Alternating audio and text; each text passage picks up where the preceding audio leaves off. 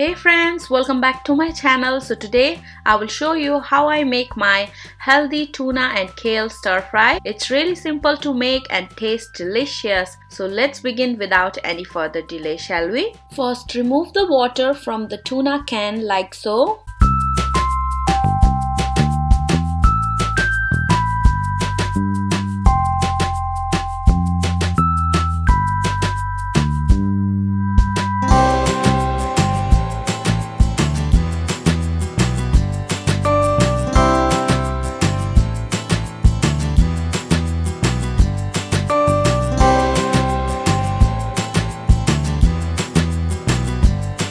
Next, heat a pan over a medium heat and then add coconut oil.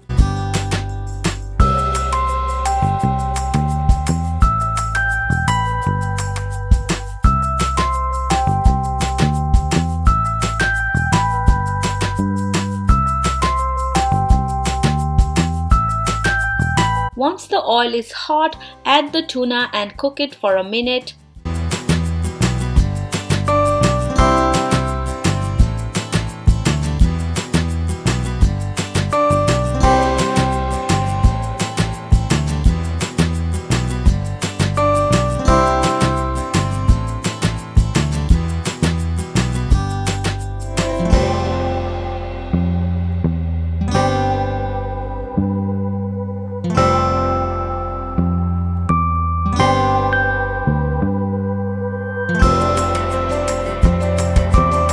After a minute, add some garlic powder, pepper to your taste and a pinch of salt in the pan and then give it a good mix until everything is nicely combined.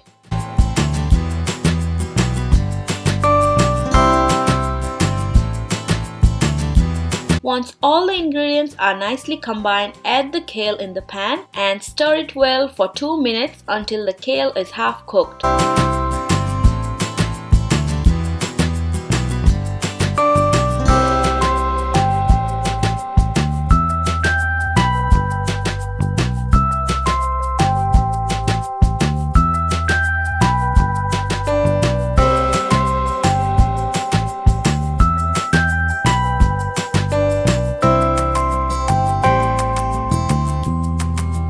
After 2 minutes, our healthy tuna and kale stir fry is ready to enjoy. I like to eat this dish as my dinner or lunch and it tastes delicious. So please give it a try and let me know if you enjoyed this recipe or not.